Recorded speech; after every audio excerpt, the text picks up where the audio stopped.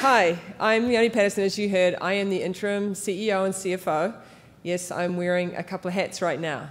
Um, I am from Adverum Biotechnologies, a gene therapy company. And as you've probably heard today, and you're going to see over the next couple of days, it's a really exciting time for gene therapy. And Adverum Biotechnologies is one of those companies. We are advancing in the clinic with a program in A1AT, deficiency, and we will have preliminary data at the end of this year. We will also be initiating a wet AMD gene therapy approach with a study in phase one in the fourth quarter of this year. And we are uh, going to go through today some of the advancements that we've made and the details of future um, milestones. Uh, as you know, we're a public company. There will be some forward looking statements today, and I just want to make sure that uh, you understand the disclaimer associated with those. So we are an industry-leading gene therapy company. We have a robust pipeline that I just talked about. We also have uh, AAV platform and manufacturing scale-up capabilities that we think are industry-leading.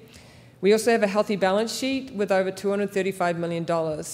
And lastly, we have a team that has uh, deep industry expertise. Moving on to the pipeline, we have a gene therapy approach in approaching, uh, sorry, serious rare and ocular diseases. Our first program is ADVM043 for A1AT deficiency. It's in a phase one study, and as I mentioned, we will have preliminary data expected by the end of this year. And then ADVM022, a wet AMD program, is also going to start a phase one. Our uh, plans to start initiate a phase one in the fourth quarter of this year. And lastly, we have a program called ADVM053 for hereditary angioedema. And uh, we also have two partnerships. We have partnerships with Editas and a partnership with Regeneron. And that really demonstrates the vector technology capabilities of the company and their uh, desire to be involved with a company who can help them with their ocular disease programs. Now I'm going to go through a little bit more on the details of the programs. So uh, ADVM043, as I mentioned, is designed to treat A1AT deficiency with a single IV administration. The genetic mutation results in very low levels of A1AT, which can lead to premature emphysema and also um, COPD-like symptoms. It's a fairly large market, over 100,000 patients in the US, and there, it's also a well-established market with four products approved uh, with a protein augmentation therapy approach. However, with that, uh, those standard of care products, there is a high burden or treatment burden for patients requiring weekly IV infusions. And that's why we think our approach with, the, with for gene therapy, with a single administration, really offers a lot of opportunity for patients. And we think that there's also ability with the program to dose escalate. Uh, you may have seen some other programs in the past we're addressing A1AT, but our program is a single IV infusion that would, administration that can actually dose escalate.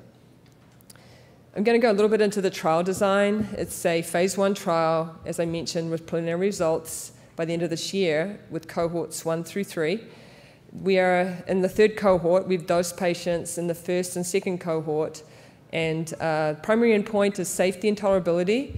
Secondary endpoint is around total protein levels of A1AT and M protein levels out to 52 weeks.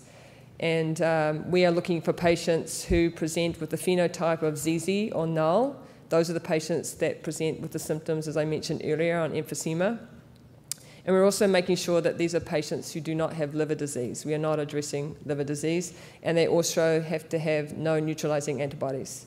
So, as I mentioned before, uh, we will have uh, information on the three cohorts um, by the end of this year.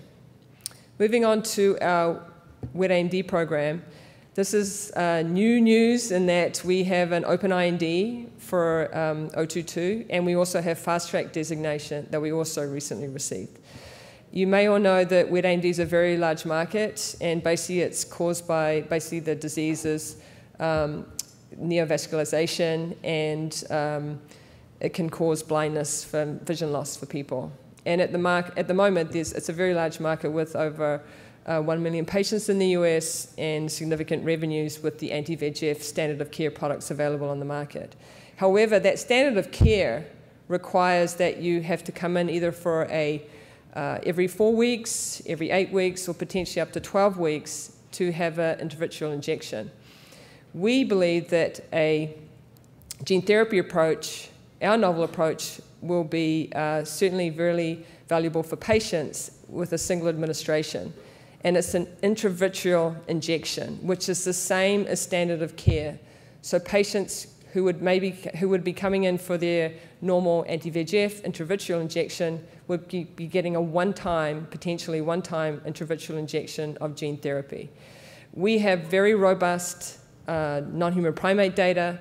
We have that uh, efficacy out to 13 months, um, and we also have protein levels out to 52 weeks, beyond 52 weeks actually post-injection, which really speaks to the durability that we're seeing uh, so far, in, at least in a non-human primate model. And as I mentioned, the single intravitreal injection method of delivery is the same as the standard of care. Now, let's talk a little bit more about the difference between the two approaches for gene therapy right now. Ours is the intravitreal injection, which is basically uh, administered in an outpatient setting. And it's an injection that goes basically into the vitreous as opposed to subretinal, which you may know of other companies who are pursuing that, which requires surgery, which is actually through a subretinal injection.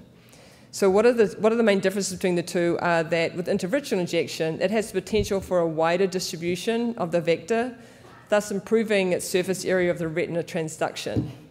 And also, as I mentioned, it's an outpatient procedure, as opposed to subretinal, which theoretically is limited by the amount of vector that can be infused and the localized transduction of cells uh, under or near the bleb. The other potential drawbacks of subretinal, as I mentioned, is it's a surgery, and so these are average age of the patient is 80. So you can imagine um, it's not their first choice to be going into surgery, but certainly if it resulted in um, long-term effect, I'm sure there would be acceptance of that. But I still believe an intravitreal approach um, is superior, and also uh, this surgery technique does have its risks, and uh, as you can imagine, with potentially variability in outcomes. So let's look at the trial design. This is called the OPTIC trial, and uh, basically, there are three cohorts, six patients per cohort, and they are monitored over a 24 week period on study. And we actually will be monitoring them actually over two years, but for the actual um, secondary endpoint is over 24 weeks. And basically, the primary endpoint is safety and tolerability. Secondary endpoint is BCVA and doing an OCT uh, central retina thickness measurement along with um, rescue injections. So you can see from the study design here, there's a baseline assessment that's done based on their site. What's important is that they have to be responders to the anti-VEGF aflibercept because aflibercept is the transgene that we're delivering. And so if you know what aflibercept is, that's Eylea, which is one of the um, anti-VEGF products that are approved on the market. So we want to make sure that the patients actually respond to Eylea, and should they do so and they meet the other criteria, we would then be administering a one-time injection and then measuring, uh, as I mentioned before, their uh, efficacy over 24 weeks. We will be pre-treating with steroids, and um, there's a, it's a dose escalation study. And uh, we are really excited about this program, as I mentioned before, having the fast track designation. I think it really speaks to um, the ability of us to demonstrate this is a novel approach, uh, potential, potential success of this approach. Moving on to our third program, which is targeting to prevent HAE attacks. This is a hereditary which basically is another genetic mutation, results in low levels of functioning C1 esterase inhibitor. And because of that, if you have that low, those low, low levels, you can have HAE attacks, which presents itself as um, sudden swelling and edema, and also of the airways, of the GI tract, and of the extremities. And it can be life threatening. Uh, this is also a well established market. You're probably familiar with some of the prophylaxis um, treatments that are available, but again, uh, high treatment burden requiring ongoing treatments.